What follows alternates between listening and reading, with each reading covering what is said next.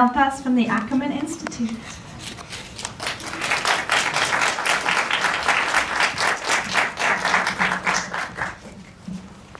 Thank you so much. Thank you. So, um, hi. Hi.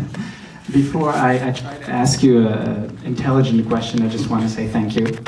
Uh, this was so beautiful and rich and complex and full of, I'm feeling really full of uh, probably all the feelings you're all feeling right now. Feel, you know, the sadness, the joy, the anger, the grief, the, the discovery.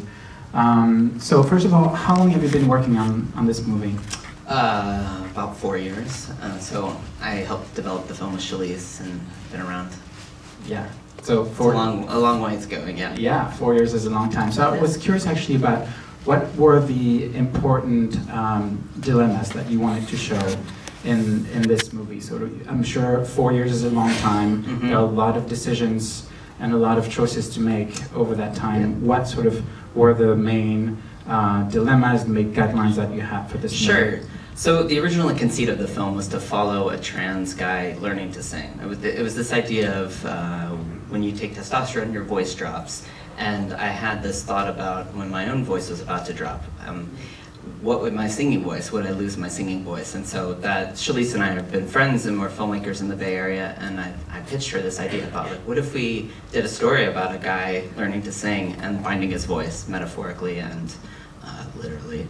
So um, that was kind of the original idea, and we just had no idea how we were going to tell that story. So uh, we were really lucky to find Ben. We found Ben through Joe. Joe is somebody that a lot of us know. Um, and we had followed a, a singing class actually. There's a guy named Eli Conley in the Bay Area. If you guys know him, he's lovely. He's a wonderful human, and he teaches queer people to sing, which is a really powerful gift. And we looked at that, we did a whole bunch of ideas, and then it was, you know, we found Ben, and I think Ben is so open, and the camera loves that kid. Like, he just, like, is beautiful on screen, and had no idea really where it was gonna go, um, because, you, you know, verite film, you've no idea where it's gonna take you. But I think from the earliest moments, Shaleece and I spent a lot of time talking about how do you tell a trans story? How do you tell a story about someone transitioning? What do you do, what do you not do?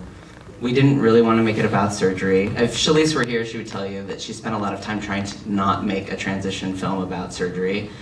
But the reality is, is that's a huge milestone in, in a lot of people's lives. Not everyone uh, has surgery or tran- transitions, but for those people who do, like myself, it's a pretty big marker, and it's hard to tell a story without making it about the things that are most important to that person in their life, and that was the thing that was most important to him.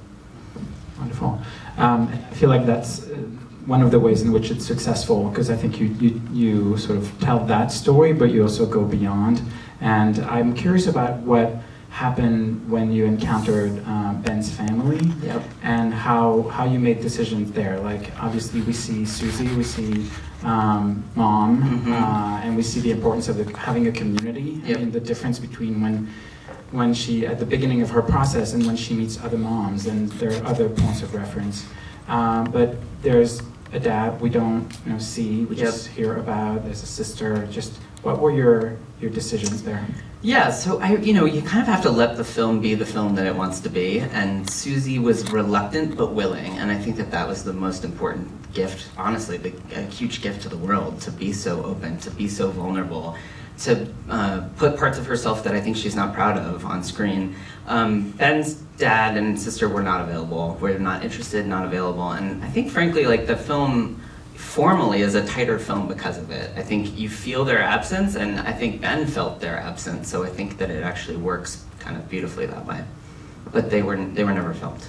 absolutely okay i'm curious to see what questions uh, the audience might have um, any any thoughts or questions you want to ask kyle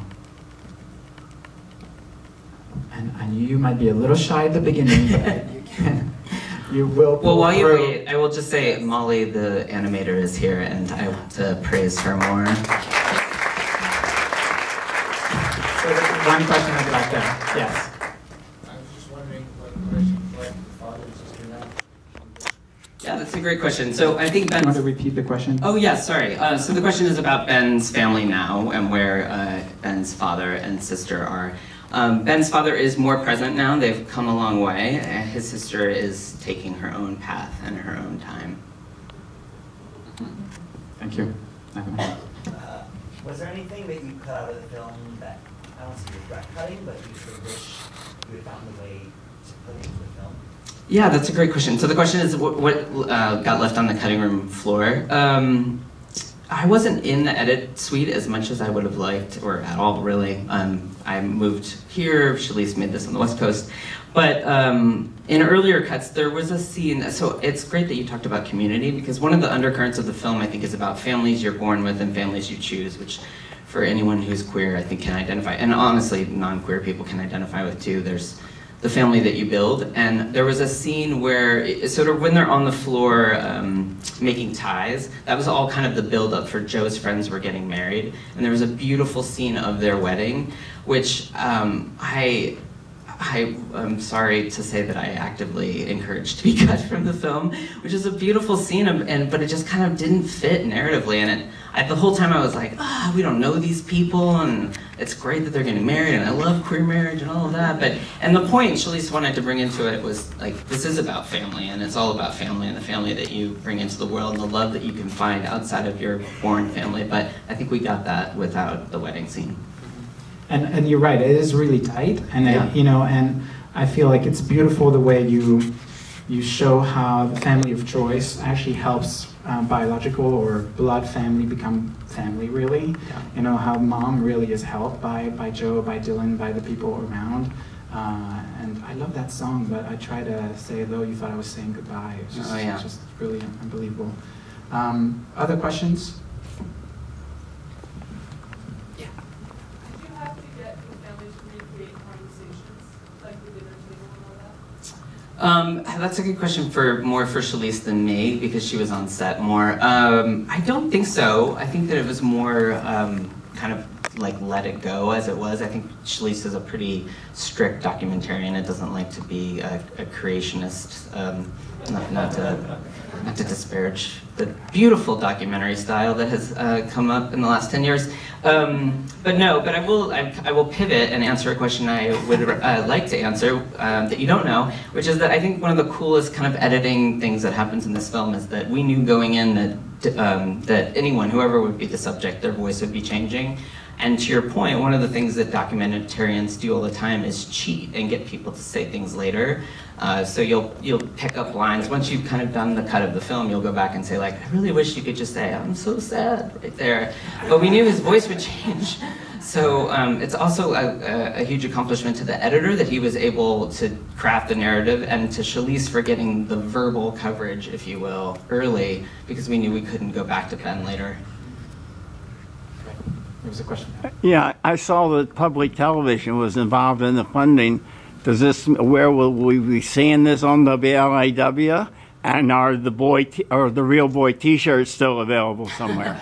That's great. I'm sure Bennett would get you a T-shirt. Um, uh, yes. So ITVS came in as a very early funder of the film. Thank you, public television and our public arts funding. And it will be on PO, uh, sorry, Independent Lens, which is a PBS program in the summer of 2020, next year, next summer. So Independent Lens on your local channel. Be sure that I will be blasting all of you. Tell your friends. Yes, please. One last question. Yes, thank you. Hi, Joe made a big impact on Ben's life. I was just wondering how he's doing. Yeah, Joe makes such a big impact on everyone's life. I love that man so much. Um, you know, he, the longest period of sobriety that he's had was when this film was being shot. I think that he goes in and out of it. Um, uh, right now, he's working on a, he, it's so amazing, but someone contacted him to write a musical about a trans Civil War soldier, which is apparently a true story that I knew nothing about. And so he's actively working on that. He's actually, both of them are touring with the film too. This film is doing really well, and uh, Joe was just in the UK for a couple of weeks. So he's doing great. Um, he's just being Joe. Thanks for coming, guys. It's Sunday night, so. Thank you so much. Take care. Thank you.